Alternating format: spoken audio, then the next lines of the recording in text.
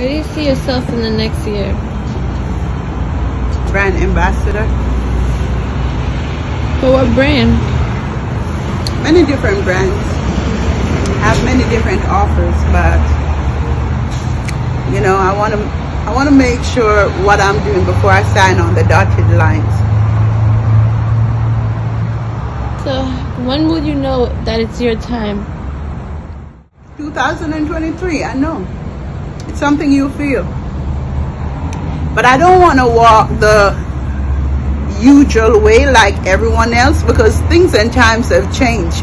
Before you needed a record label, but now you don't really need a record label to be successful because the internet is carrying all the weight, you know. So I don't want to be signed to a major record label and all that.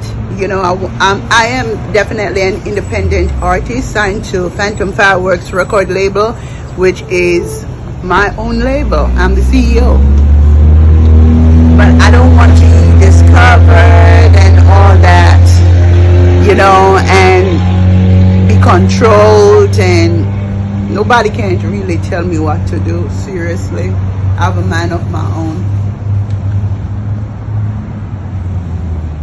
You know what I don't want? Nobody to tell me what to sing, what not to sing, and I have rights to my songs because many artists they don't have the right to their masters. And although they are the singers they have lost the rights to their royalties.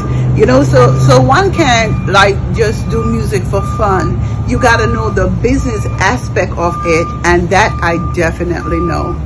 I i owned sky I music promotion before.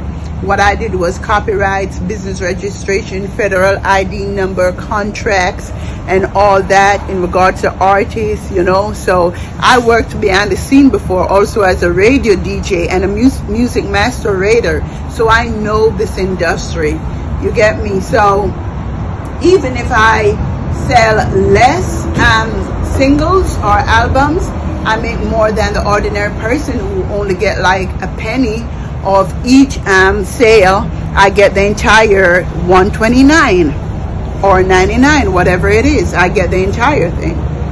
So it may looks like the other party is winning, but I, I'm the one who's winning. Do I think that the other artists know that I'm winning? No, they don't.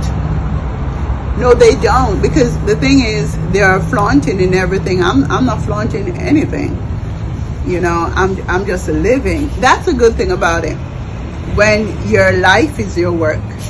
So all people will ever see is you living but nobody really really knows that you're truly winning. And if they kind of think that you're winning they don't know how much you're winning. And i like that